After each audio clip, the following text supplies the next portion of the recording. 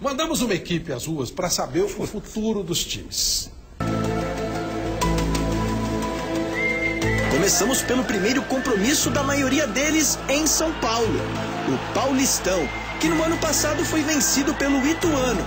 Nessa temporada, os grandes vão dar trabalho. O São Paulo é um time que vem forte, é um time que vem é, favorito. O Corinthians vai brigar também, mas para mim o favorito é, é, é o São Paulo.